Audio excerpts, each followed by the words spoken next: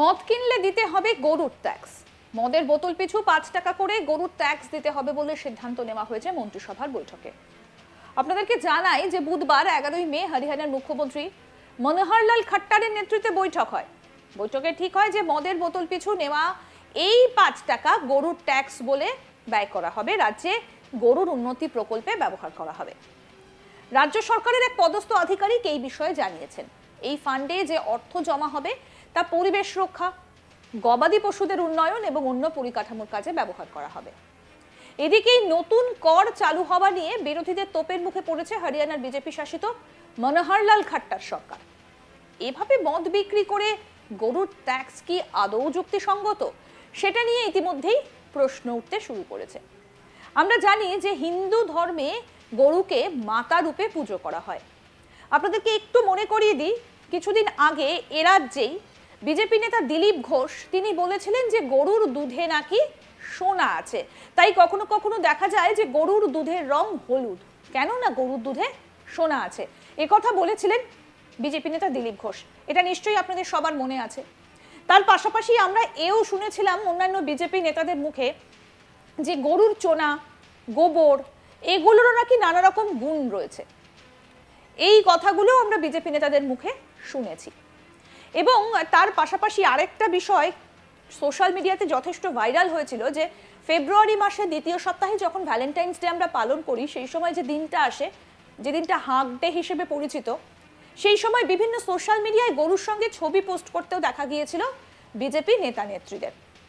এইরকম বেশ কিছু ছবি কিন্তু ভাইরালও হয়েছিল সোশ্যাল মিডিয়ায় বিভিন্ন সময় আমরা দেখেছি যে বিজেপি নেতাদের মুখে গরুকে মাতা হিসেবে পুজো করা হচ্ছে, যেটা আমাদের হিন্দু শাস্ত্রেই রয়েছে, হিন্দু ধর্মে গরুকে মা হিসেবে পুজো করা হয়। বিজেপি নেতারা সেটা মেনে চলে। কিন্তু তাই বলে এই গরুর ট্যাক্স অর্থাৎ মদ কিনতে গেলে গরুর ট্যাক্স দিতে হবে পাঁচ টাকা করে বিজেপি রাজ্যে মদ খেতে গেলে। এই বিষয়টার সিদ্ধান্ত যখন নেওয়া হয়েছে, তারপর কিন্তু ইতিমধ্যেই বিরোধীদের তরফ থেকে নানা রকম প্রতিক্রিয়া আসতে শুরু করেছে।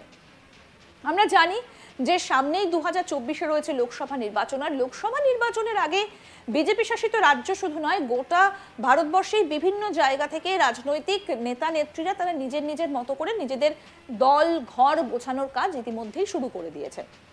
বিজেপির তরফ থেকেও একাধিক কর্মসূচির কথা ইতিমধ্যেই ঘোষণা করা হয়েছে।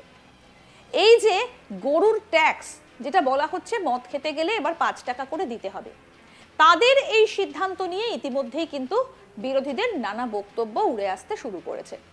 কারণ যখন দিলীপ ঘোষ বলেছিলেন যে গরুর দুধের সোনা আছে, তখন তারপরেও দেখা যায় যে এ রাজ্যের নেতা নেত্রীরা তারা নানা রকম প্রতিক্রিয়া দিচ্ছেন। আবার যখন গরুর চোনা এবং গোমূত্র অর্থাৎ গোমূত্র এবং গোবর, সেটা নিয়েও যখন তারও নানা রকম ঔষধি গুণ রয়েছে, সেটা নিয়েও যখন বিজেপি নেতা নেত্রীরা নানা রকম তাদের বক্তব্য উঠে এসেছিল সেই সময়ও কিন্তু দেখা যায় যে বিরোধীরা নানা রকম মন্তব্য করতে শুরু করেছিলেন।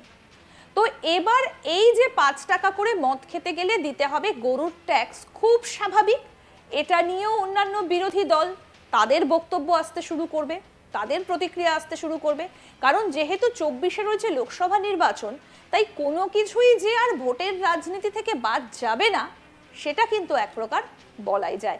এখন দেখার যে বিরোধী দলের তরফ থেকে ঠিক কি বক্তব্য উঠে আসে এই গরুর ট্যাক্স নিয়ে। আমাদের নজর তো অবশ্যই থাকবে। আপনারাও যদি এই বিষয়ে আরও জানতে চান, এর পরের আপডেট, তাহলে অবশ্যই আজ তাক বাংলার ইউটিউব চ্যানেল সাবস্ক্রাইব করুন নোটিফিকেশন পেতে বেল বাটন অপশন প্রেস করুন। এই ভিডিও সম্পর্কে আপনাদের মতামত জানান। কমেন্ট করে যদি ভালো লেগে থাকে, তাহলে অবশ্যই লাইক করুন শেয়ার করুন।